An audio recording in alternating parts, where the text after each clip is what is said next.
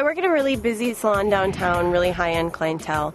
Um, we get kind of everybody coming in um, from college kids, older women, um, basically anybody that just wants to look fabulous comes to us. I would say 15% of my job is actually being good at styling hair. Um, most of it is getting people to trust you, making them feel good about themselves. Um, just very quickly being able to read them and you know turn around and make it into something that they love. Um, it's all about people skills.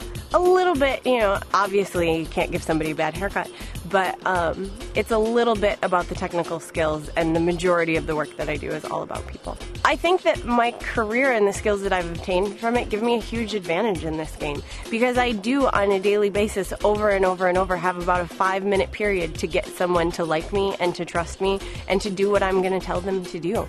Uh, I think that that's a skill that I can absolutely use in this game. I would describe myself as somebody that is not too serious but not too crazy. Um, I definitely like to have fun, but I also work when the work needs to be done. Um, I, I'm somebody that I think people like to be around, and I think that'll be helpful. I'm not, I don't have like any really annoying habits. You know, it's not, I don't think I have any big red flags that would send people right away over the edge of, oh, we want her out. So I think that would be helpful to me. I am really very even keeled. I don't get angry about a lot of things. I'm not annoyed easily. Um, I generally tend to kind of keep my wits about me all the time. I think that this will be a good exercise in thinking before you speak. If I have any faults that I'm concerned about, it's that I can tend to just blurt whatever I'm feeling.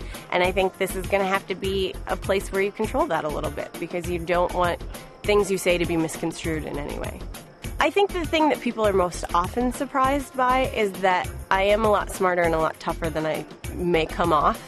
And um, sometimes, you know, especially in this environment, that might be on purpose a little bit. I might let you think a certain way for a while before I really come out and let that show.